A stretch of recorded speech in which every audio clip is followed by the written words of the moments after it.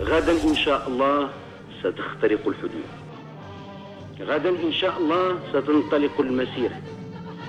غدا إن شاء الله ستطؤون أرضا من أراضيكم وستقبلون أرضا من وطنكم العزيز.